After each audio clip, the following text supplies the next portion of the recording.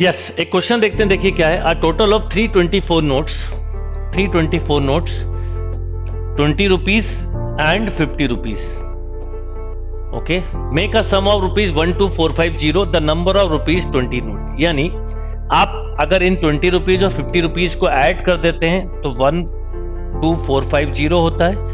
और अगर in rupees को अलग अलग गिने तो थ्री ट्वेंटी फोर यानी, अगर आप इसको सपोज़ एक्स और इसको वाई कंसिडर कर लें तो नोट नंबर ऑफ़ नोट्स हैं 324 और 20x plus 50y equal to है one two four five zero यानी सिंपल क्वेश्चन हुआ, इसमें आपसे ट्वेंटी रुपीज़ या फिफ्टी रुपीज़ के नंबर ऑफ़ नोट पूछ सकते थे। तो सिंपल आप पहले तो ज़ीरो कैंसिल कर दीजिए, जिससे थोड़ा सा क्वेश्चन इजी हो जाए वन टू फोर फाइव और इसमें टू का मल्टीप्लाई करते हुए ही इवन आपसे, क्योंकि इसमें एक्स पूछा तो आप फाइव का भी मल्टीप्लाई कर सकते थे।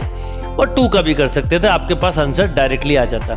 तो आपने अगर मान लो फाइव का किया होता तो वाई कैंसिल हो जाता, जैसे ट्वेंटी का पूछा है। तो आप लिखते five X plus five Y और फाइव का मल्टीप्लाई कर देते।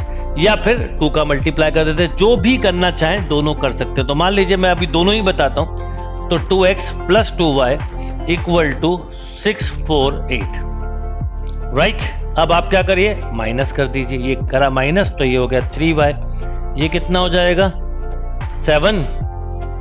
ये हो जाएगा नाइन और ये हो जाएगा फाइव। Five ninety seven. तो वाई को डिवाइड करिए।